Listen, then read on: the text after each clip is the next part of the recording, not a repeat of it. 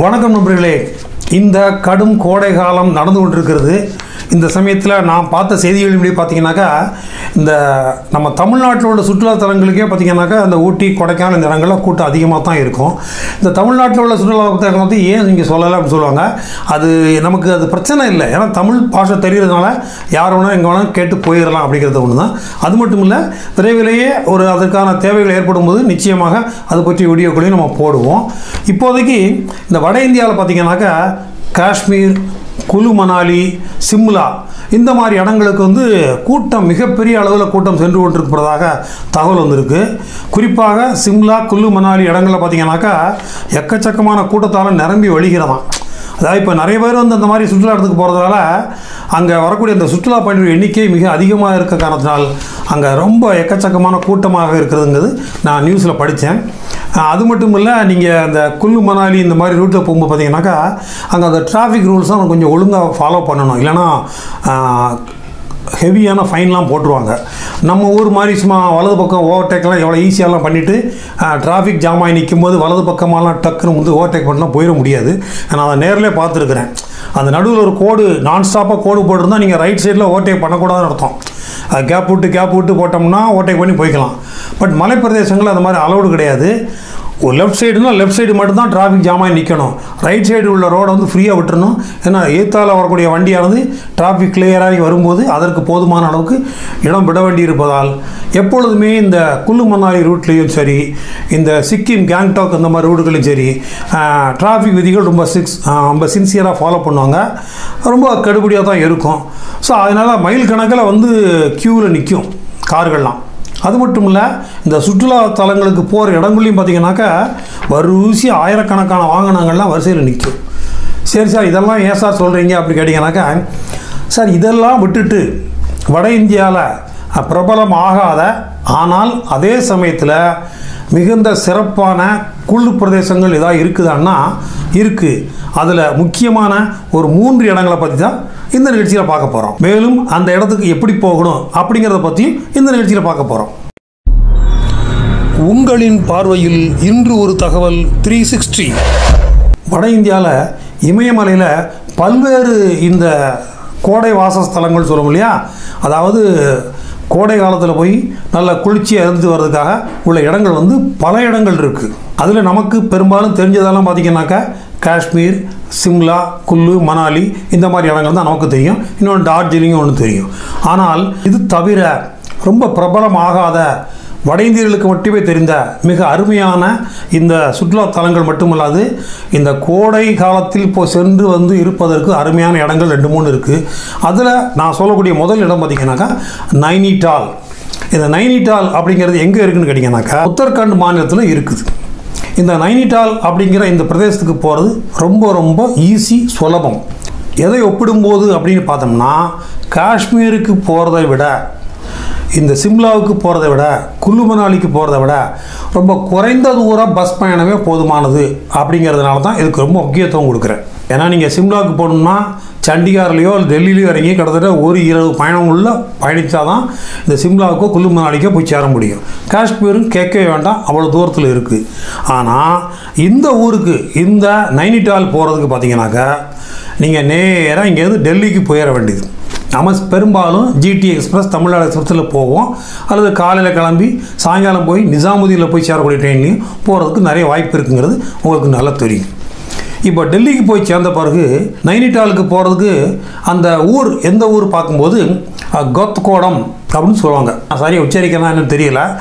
அந்த கோத்கோடம் அப்படிங்கிற ஊருக்கு டெல்லியிலேருந்து நியூ டெல்லியில் இருந்தும் ட்ரெயின் இருக்குது. ஓல்டு டெல்லியில் இருந்தும் ட்ரெயின் இருக்குது. இந்த ட்ரெயின் லிஸ்ட்டை இதில் காட்டுறேன் பாருங்கள் இதில் வந்து நம்ம பொறுத்த வரைக்கும் இரவில் ஏறி காலையில் இறங்குறது தான் ரொம்ப நல்லது அப்படிங்கிறது என்னுடைய அபிப்பிராயம்.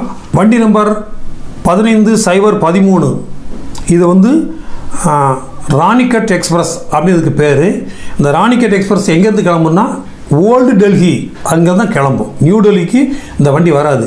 ஸோ ராத்திரி பத்து அஞ்சுக்கு கிளம்பி மறுநாள் காலையில் அஞ்சு அஞ்சுக்கு வந்து இது கொத்கோடம் அப்படிங்கிற இடத்துக்கு போகுது. இந்த ட்ரெயின் வந்து டெய்லி ஓடக்கூடிய ஒரு ட்ரெயின். அதனால் இது ஒரு பெஸ்ட்டு ட்ரெயின். ஏன்னா இரவில் ஏறி காலையில் இறங்குறீங்க. எந்த விதமான பிரச்சனையும் இல்லாமல் அங்கே போய் பயணிக்கலாம். அதே போல் காலையில் ஆறு இருபதுக்கு நியூ டெல்லியில் வண்டி நம்பர் பன்னிரெண்டு சைபர் நாற்பது அப்படிங்கிற வண்டி கிளம்பி காலையில் பதினொன்று ஐம்பத்தஞ்சுக்கு இந்த கோத்கோடம் அப்படிங்கிற இடத்துக்கு போயிடுது இந்த ட்ரெயினை பொறுத்த வரைக்கும் இந்த கோத்கோடத்தில் இறங்கி அங்கே போய் பஸ்ஸை பிடிச்சி அங்கே இருந்து நீங்கள் எங்கே போயிடலாம் நைனிட்டால் போகலாம். ஆனால் அதை விட பெஸ்ட்டு ஐடியா என்ன கேட்டீங்கன்னாக்கா தயவுசெய்து கோத்காடத்தில் இறங்காமல் அதுக்கு முந்தைய ஸ்டாப் ஒரு ஆறு கிலோமீட்டருக்கு முன்னாடி ஹல்டுவானி அப்படின்னு ஒரு ஊர் இருக்குது. நான் ஏன் இங்கே இறங்க சொல்கிறேன்னா அதாவது கோத்கோடங்கிறது கடைசி அதுக்கு மேலே ட்ரெயின் ரூட்டே கிடையாது அதோட எமயமலை அந்த கடைசி எண்டு வந்துடும் அதோட டெர்மினல் ஆகிடும் இந்த ஹல்டுவானிங்கிறது வந்து அந்த கோத்கோடத்துக்கு ஆறு கிலோமீட்டருக்கு முன்னாடி இருக்குது. இதுதான் உண்மையிலே பெரிய சிட்டி இங்கேருந்து தான் எல்லா பஸ்ஸுகளுமே பஸ் ஸ்டாண்ட்லேருந்து கிளம்பும். அது ஹல்டுவானி அப்படிங்கிற ஊரில் உள்ள பஸ் ஸ்டாண்டில் இருந்தால் பஸ்ஸு கிளம்பி நைனிடால் அல்மோரா அப்புறம் ராணிக்கட் அப்படிங்கிற ஊர்களுக்கு கிளம்பும். அது கொத்கோடம் வழியாக வரும். ரயில்வே ஸ்டேஷன் முன்னாடி வரும். ஆனால் அதுக்குள்ளே சீட்டு ஃபுல்லாக போயிடும் நீங்கள் ஸ்டாண்டிங்கில் போக வேண்டிய ஒரு சூழ்நிலை ஏற்படும். ஸோ ஆகையினால நீங்கள் பெரும்பாலும் ட்ரெயினில் பார்த்தீங்கன்னா வண்டியே பெரும்பாலும் காலியாயிரும். இந்த ஹல்துவானி அப்படிங்கிற இடத்துக்கு இடத்துல இறங்கி அங்கேருந்து பஸ் ஸ்டாண்டுக்கு போய் அங்கே உள்ள பஸ்ஸில் ஏறி நீங்கள் என்ன செய்யலாம்? அவங்களே கூப்பிடுவாங்க நைனிட்டால் நைனிட்டால் ராணிகட் அல்மோரான்னு சொல்லுவாங்க. இந்த பஸ்ஸும் போகும் ஷேர் டாக்ஸியும் போகும். உங்களுக்கு எது சௌகரியமோ பஸ்ஸுங்கிறது சிக்கனம். ஸோ பஸ்ஸுலையும் நீங்கள் தாராளமாக போய்க்கலாம். ஹல்துவானியில் இருந்து இந்த நைனிட்டால் வந்து ஒரு நாற்பத்தி நாலு கிலோமீட்டர் தான் மற்றதெல்லாம் பார்த்திங்கன்னா இரநூறு கிலோமீட்டர் இரநூத்தொம்பது கிலோமீட்டர் இருக்கும். இது வெறும் நாற்பத்தி நாலு கிலோமீட்டரில் இந்த நைனிட்டால அடைஞ்சிடலாம். ஸோ நான் இந்த அதிகபட்சம் ஒரு ஒன்றரை மணி நேரத்துக்கு ரெண்டு மணி நேரம் ஆகும். அவ்வளவுதான். இந்த நைனிட்டாவில் பார்த்தீங்கன்னாக்கா ஒரு அருமையான கிளைமேட் நல்ல சில் வெதர் நல்லா இருக்கும். இந்த குளிர் காலங்களில் போனீங்கன்னா அங்கேயும் ஐஸ் கட்டியே பனியே பெய்யும். பட் இந்த கோடை காலத்தில் ஐஸ் கட்டி அதெல்லாம் விழுகாது. ஆனால் கிளைமேட் வந்து நம்ம ஊட்டி மாதிரி ஜம்முன்னு இருக்கும். அங்கே ஒரு பெரிய லேக் ஒன்று இருக்குது. சுற்றிலும் மலை நடுவில் பெரிய லேக்கு அது மட்டும் இல்லை ஏகப்பட்ட ஷாப்பிங் ஏரியா தங்குவதற்கு கேட்கவே வேண்டாம். ஏகப்பட்ட லாட்ஜுகளும் அந்த லேக் ஏரியாவை சுற்றி சுற்றியே இருக்குது அந்த லேக் ஏரியாவில் நீங்கள் நடந்து போய் ஒவ்வொரு லாட்ஜாக பார்த்துட்டு உங்களுக்கு பிடித்தமான இடத்துல தங்கிக்கலாம். ஒரு இரண்டு அல்லது மூன்று நாட்கள் கூட தங்கியிருந்து நல்ல ரெஸ்ட் எடுத்துகிட்டு வரலாம். ஒரு அருமையான அமைதியான ஒரு இடம். அது மட்டும் இல்லை அங்கேருந்து நீங்கள் ஃபர்தராக பார்த்தீங்கன்னாக்கா இந்த அல்மோரா ராணிக்கட் அதுவும் மலையுடைய வெவ்வேறு பகுதி தான் ஸோ அந்த மாதிரி அந்த இடங்களுக்கு நீங்கள் போயிட்டு வரலாம். இப்போ அடுத்து பார்க்கக்கூடிய ஊர் பார்த்தீங்கன்னாக்கா பஞ்சாப் மாநிலம் பத்தான்கோட்டில் போய் இறங்கி அங்கிருந்து போகக்கூடிய டல்ஹௌசி அப்படிங்கிற ஊர். இந்த டல்ஹோசி அப்படிங்கிற அந்த மலைப்பிரதேசமானது அந்த மலைப்பிரதேசத்தில் ஊர் ஆறுது எங்கே இருக்குன்னு கேட்டிங்கனாக்கா ஹிமாச்சல பிரதேசத்தில் இருக்குது இந்த டல்ஹோசிக்கு போகிறதுக்கு நீ எப்படி பண்ணி கேட்டாக்கா நேராக தமிழ்நாட்டிலேருந்து நேராக டெல்லி டெல்லிக்கு பிறந்து பத்தான்கோட். இந்த பத்தான்கோட்டுங்கிறது பத்தான்கோட் ஜங்ஷன் அப்படின்னு ஒன்று இருக்குது பத்தான்கோட் கண்டோன்மெண்ட் அது மிலிட்ரி ஏரியா அப்படிங்கிற ஒன்று இருக்குது பட் தமிழ்நாட்டிலேருந்து போகக்கூடிய பெரும்பான்மையான ட்ரெயின்லாம் போகிற பார்த்தீங்கன்னாக்கா பத்தான்கோட் அந்த கண்டோன்மெண்ட்டுக்கு தான் போகும். ஸோ ரெண்டும் ஒன்று தான் ஒன்றும் பிரச்சனை இல்லை. ரெண்டும் பக்கத்தில் பக்கத்தில் ஒரு ஆறு கிலோமீட்டர் டிஸ்டன்ஸ் உள்ள ரெண்டு ஊர் தான். ஸோ நீங்கள் எப்படி இந்த பத்தான்கோட்டில் இறங்கினாலும் அங்கே உள்ள பஸ் ஸ்டாண்டில் போய் தான் பஸ் ஏற போகிறீங்க ஸோ ஆனால் இது உங்களுக்கு சௌகரியமான ட்ரெயின் என்னன்னு பார்த்தீங்கன்னாக்கா இந்த தமிழ்நாட்டில் சென்னையிலேருந்து அதிகாலை ஐந்து பதினைந்துக்கு கிளம்பக்கூடிய சென்னை சென்ட்ரல்ல இருந்து ஐந்து பதினைந்துக்கு வண்டி நம்பர் பதினாறு சைபர் முப்பத்தி ஒன்று அந்தமான் எக்ஸ்பிரஸ் வாரத்தில் ஒரு மூன்று நாட்கள் மட்டும் இந்த ட்ரெயின் புறப்படுது. ஸோ இது ஒரு அருமையான வண்டி. ஏன் அப்படி கேட்டிங்கனாக்கா காலையில் ஐந்து பதினைந்துக்கு எடுக்கக்கூடிய வண்டி தொடர்ந்து இரண்டு இரவு இரண்டு பகல் பயணித்த பிறகு அதிகாலை ஆறு மணிக்கு இது பத்தான்கோட் கண்டோன்மெண்ட் ஸ்டேஷனுக்கு போகுது. ஸோ ஆறு மணிக்கு போகிறதுனால நீங்கள் உடனே அங்கேயே ரிஃப்ரெஷ் பண்ணிவிட்டு அங்கே உள்ள பஸ் ஸ்டாண்டில் போய் அங்கேருந்து பஸ் ஏறினீங்கன்னா அங்கேருந்து நேராக எங்கே போயிடலாம் டல்ஹோசிக்கு போயிடலாம் பஸ் ஸ்டாண்டில் போய் டல்ஹோசின்னு அவங்களே கூப்பிடுவாங்க. நிச்சயமாக டல்ஹோசிங்கிறது ஒரு கோடை வாசத்தினால நிறைய பஸ் இங்கேருந்து கிளம்பும்.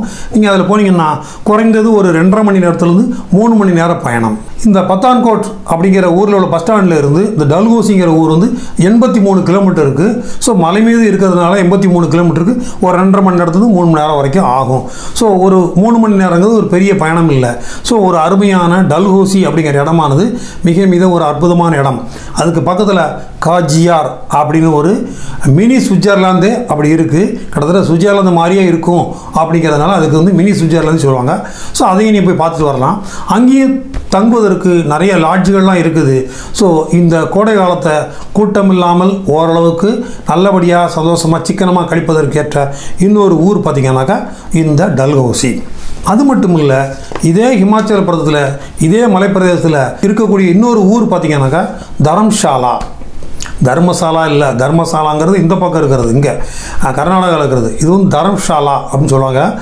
இந்த தரம்சாலா அப்படிங்கிறது பார்த்தீங்கன்னாக்கா இதுவும் பத்தாங்கோட்டு தான் நான் சொன்ன அதே ட்ரெயின் தான். அதே அந்தமான் எக்ஸ்பிரஸ். அது மட்டும் இல்லை இங்கே காட்பாடியிலிருந்து வெள்ளூர் பக்கம் காட்பாடியிலிருந்து அங்கேருந்து பார்த்திங்கன்னா காலைல ஏழு முப்பதுக்கு கண் வண்டி கிளம்புது. அது எந்த வண்டின்னு பார்த்தீங்கன்னாக்கா இந்த கன்னியாகுமரியிலேருந்து வரக்கூடிய ஹிம்சாகர் எக்ஸ்பிரஸ் அது ஒன்று திருநெல்வேலியிலேருந்து புறப்படக்கூடிய மாதா வைஷ்ணோதேவி கட்ரா கட்ரா மா வைஷ்ணோதேவி அப்படிங்கிற ஊருக்கு போகக்கூடிய இந்த ரெண்டு வண்டிகளும். வண்டி நம்பர் பதினாறு முந்நூற்றி பதினேழு ஒன்று வண்டி நம்பர் பதினாறு எழுநூற்றி எண்பத்தி ஏழு. இந்த ரெண்டு வண்டிகளும் பார்த்தீங்கன்னாக்கா காட்பாடிக்கு ஏழு முப்பதுக்கு வருது. இதுவும் அதே ஆறு மணிக்கு தான் போய் எங்கே போய் சேருது? இந்த பத்தான்கோட் கண்டமோடு போய் சேருது. ஆனால் இந்த வண்டிகள் புறப்பட இடம் பார்த்திங்கனாக்கா முதல் வண்டி கன்னியாகுமரியில் கிளம்புது முதல் நாள். அதே போல் இந்த வண்டி திருநெல்வேலியில் கிளம்புது. ஸோ இந்த திருநெல்வேலிருந்து கன்னியாகுமரி எப்போ கிளம்புங்கிறத நீங்கள் டைம் டேபிள் பார்த்து தெரிஞ்சுக்கிடுங்க.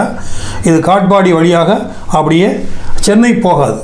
காட்பாடியிலேருந்து திருப்பதி ரூட் வழியாக கூடூர் போய் வந்து டெல்லி வழியாக நேரடியாக பத்தான்கோட்டை இறங்கலாம்.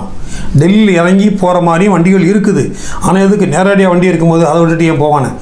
ஸோ அதனால் நேரடியாக பத்தான்கோட் அங்கே கண்டோன்மெண்ட்டில் இறங்கிட்டிங்கன்னா அங்கேருந்து பஸ் ஸ்டாண்டு போய் அங்கே தரம்ஷாலா போகிற பஸ் ஆட்டோமேட்டிக்காக உங்களை கண்டக்டர் வரை வந்து கூப்பிடுவாங்க. ஸோ அதில் ஏறி அதுவும் கிட்டத்தட்ட ஒரு மூணு மணி நேரம் எண்பத்தஞ்சு கிலோமீட்டர் ஸோ இது அதே இமயமலையுடைய இன்னொரு பகுதியில் இருக்கக்கூடிய தரம்சாலா அப்படிங்கிற ஒரு பிரதேசம். இந்த தரம்சாலாங்கிற ஏரியாவும் கூட ஒரு அருமையான ஹில் ஸ்டேஷன் தான். ஸோ நண்பர்களே இப்போ நான் சொன்ன இந்த நைனிடால் அப்புறம் வந்து இந்த தரம்சாலா டல்ஹௌசி இந்த மூணு பிரதேசங்களும் தென் மாநிலங்களில் உள்ள நிறைய பேருக்கு தெரியாத ஒரு சுற்றுலாத்தலம் இதுக்கு போயிட்டு வர்றது ரொம்ப ஈஸி திருப்பி வரும்போது இதே ரூட்டு தான். அங்கேருந்து நேராக டெல்லி டெல்லி ரூட்டு தமிழ்நாடு. அவ்வளோதான் ஸோ இதை ஒரு ரெண்டுலேருந்து மூன்று நாட்கள் தங்கியிருந்து அருமையாக இந்த கோடை காலத்தை கழித்து விட்டு வரலாம் என்பது எங்களுடைய கருத்து. இது போன்ற பயணத்திட்டங்களை நமது ட்ரிப் கார்ட் த்ரீ சிக்ஸ்டி அப்படிங்கிற ஆப்லேயும் நாம் வரிசைப்படுத்தியிருக்கிறோம். உங்களுடைய செல்ஃபோனில் இந்த ட்ரிப் கார்ட் த்ரீ சிக்ஸ்டி அப்படிங்கிற அப்ளிகேஷனை ப்ளே ஸ்டோரில் இருந்து டவுன்லோட் பண்ணிக்கிடுங்க.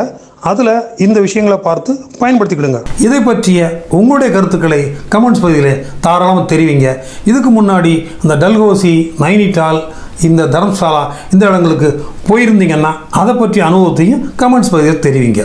நமது நிகழ்ச்சிக்கு இதுவரைக்கும் சப்ஸ்கிரைப் பண்ணாதவங்க சப்ஸ்கிரைப் பண்ணுங்கள் ஷேர் பண்ணுங்கள் லைக் பண்ணுங்கள் நன்றி வணக்கம்.